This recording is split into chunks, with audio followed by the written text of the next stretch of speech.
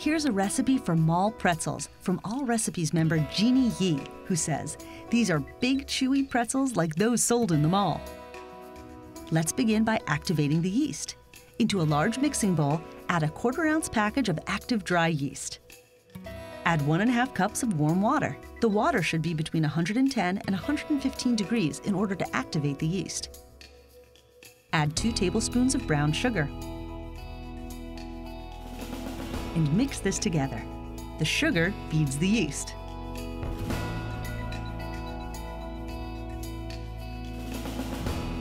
Let the yeast proof, which could take up to 10 minutes. Once the yeast is activated, add 3 cups of all-purpose flour, 1 cup of bread flour, and 1 and an eighth teaspoons of salt. Mix the ingredients together.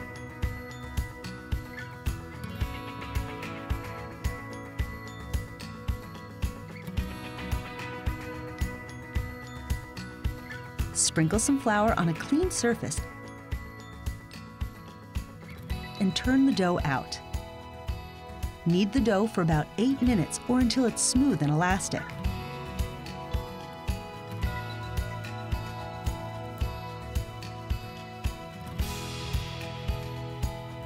Grease a clean bowl with cooking spray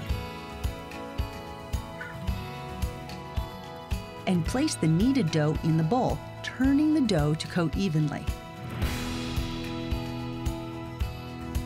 Cover the bowl with a damp towel and leave it in a warm place to rise for an hour. When the dough has almost finished rising, heat 2 cups of warm water to between 110 and 115 degrees. Add 2 tablespoons of baking soda. Stir. Pour the baking soda mixture into a medium pan with low sides and set it aside. Once the dough has risen, lightly flour your work surface. Turn the dough out and cut it into 12 equal pieces. Cut the dough into quarters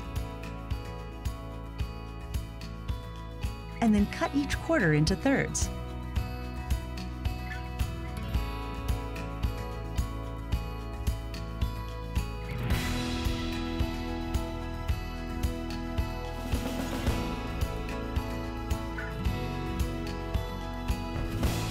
Roll each piece into a three-foot rope.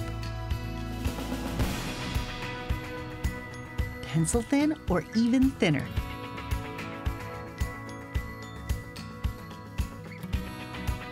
Twist each rope into a pretzel shape.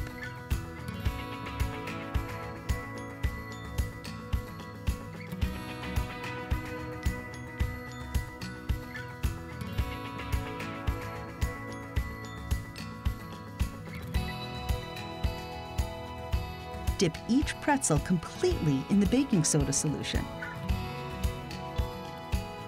And place the pretzels on four baking sheets lined with parchment paper.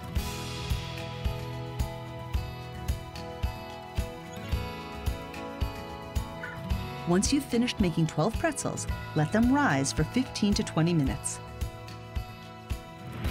While the pretzels are rising, preheat your oven to 450 degrees. Bake the pretzels in batches in the preheated oven for 8 to 10 minutes or until they're golden brown. You might want to rotate the baking sheets halfway to ensure that the pretzels bake evenly. While the pretzels bake, melt 2 tablespoons of butter and then brush the pretzels with the butter.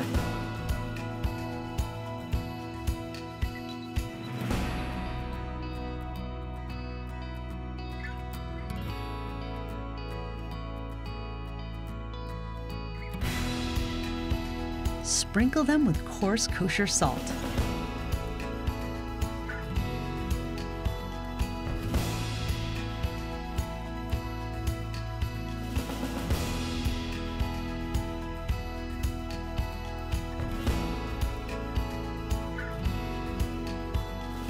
All Recipes member Jeannie Yee adds, you may substitute garlic salt or cinnamon sugar for the coarse salt if you wish.